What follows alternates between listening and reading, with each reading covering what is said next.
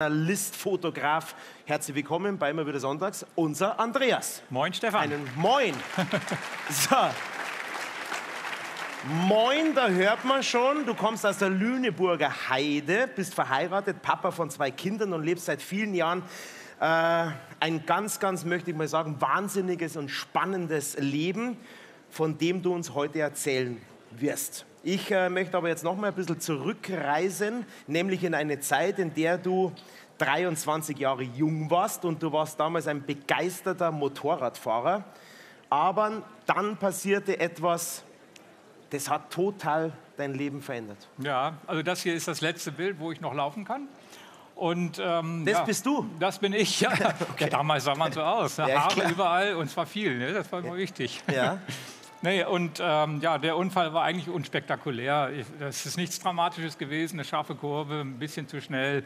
Aber das Ergebnis war natürlich schon dramatisch. Also Rückenmarksverletzung, Querschnittslähmung und das habe ich schon zwei Tage nach dem Unfall dann klipp und klar gesagt bekommen im Krankenhaus.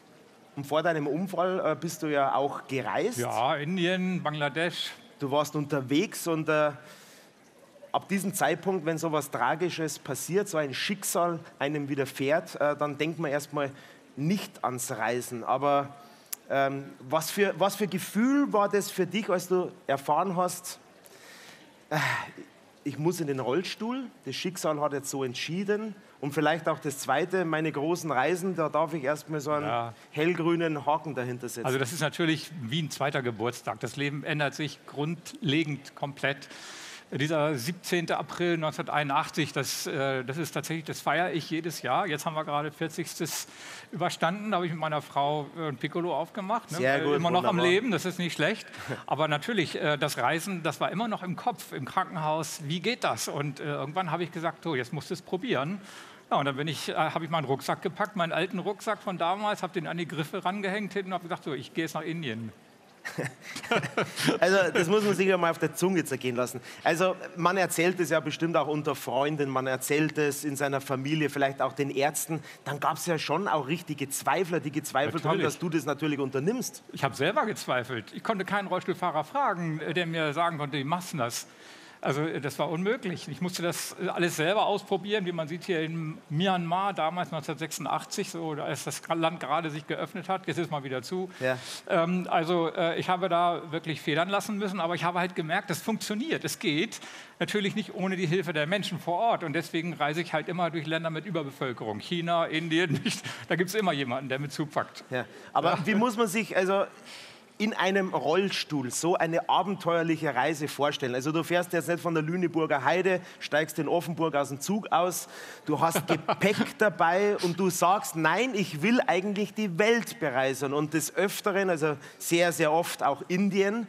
Ähm, wie bist du da unterwegs? Also ich bin äh, mit dem Rollstuhl unterwegs. Ja, ich schon, rolle, aber mit rolle, Gepäck? Ich rolle, ich habe ja mein Gepäck, das ist mein Schoß, da äh, passt äh, Fotoausrüstung drauf, ja, auf meinem Koffer und dann habe ich hinten an den Griffen eine Tasche von 8 Kilo, mehr geht nicht. Ich sage mal so, das Wichtigste, Du musst da zumindest schon mal ein paar Unterhosen mitnehmen. Also ich will jetzt nicht sagen, wie viele ich dabei hatte, das wird peinlich hier.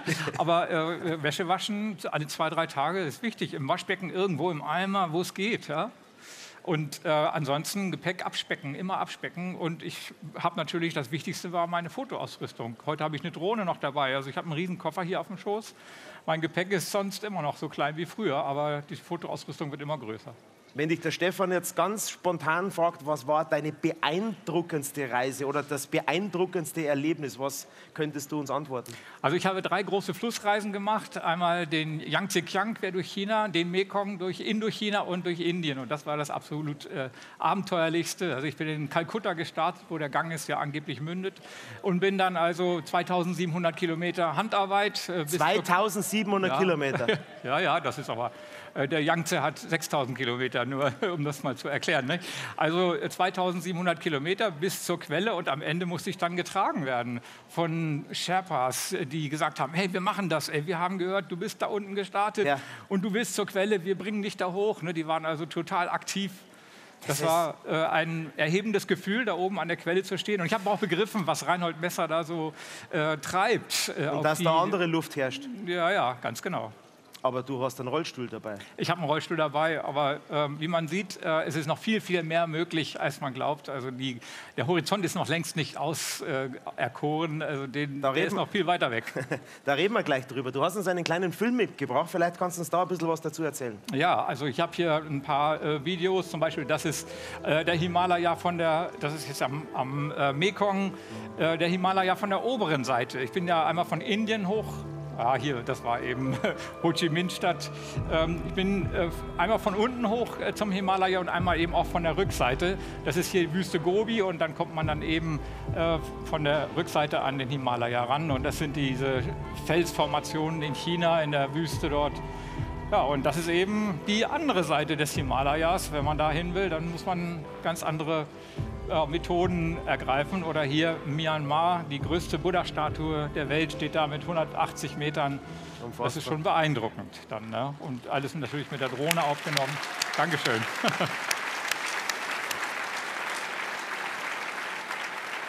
Es gibt ja auch bestimmt mal eine begrenzliche Situation, wo du sagst, Mensch, ich komme jetzt genau an meine Grenzen. Andreas, das, das hat es immer wieder gegeben. Eigentlich wo nimmst du aber dann die Kraft her? Ja, also die Kraft ist natürlich, äh, die kommt von innen. Das ja? bist du. Die Neugierde, ja, die ist, es ist die Neugierde, ja. solche Reisen zu machen, aber es ist natürlich auch eine Herausforderung. Ja? Äh, äh, ständig kriegt man als Rollstuhlfahrer gesagt, hey, das geht nicht, das geht nicht, hier sind Barrieren da. Und wenn ich dann aufbreche auf so eine Reise, dann will ich auch nicht nur mir beweisen, dass das möglich ist, das gebe ich ganz offen zu, sondern eben anderen auch zu zeigen.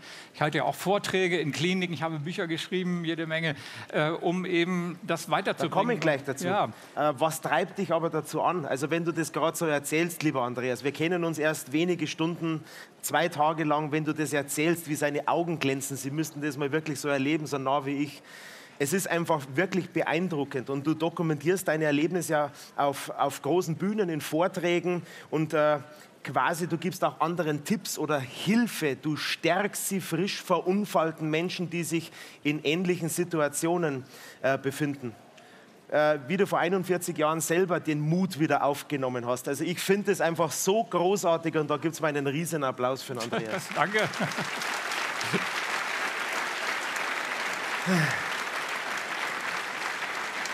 Ich möchte noch ganz kurz fragen, deine nächste Reise, wo geht die hin? Also ich bin jetzt gerade äh, mitten in einem neuen Projekt. Äh, ja. Eine Reise ist nicht immer nur eine Reise, sondern äh, allein nach Indien bin ich fünfmal gereist für einen Vortrag, für ein Buch. Das heißt, ich bin jetzt gerade im Mai äh, mit dem Rollstuhl äh, in der Lüneburger Heide gestartet, in Handarbeit nach Istanbul gerollt. Und ähm, jetzt ähm, wird daraus wahrscheinlich ein neues Vortrags- und Buchprojekt. Aber dafür muss ich die ganze Reise mindestens noch zweimal machen, um genug Fotomaterial zusammenzubekommen. So, und wenn du das alles zusammen hast, in einem Jahr, weil dann fangen wir wieder an, hier im Juni 2023. Bitte schön, dann erzähl von deinen dann. Erlebnissen und wir freuen uns auf einen weiteren Besuch ja, vom Andreas hier bei Immer wieder Sonntags. Dankeschön, Andreas.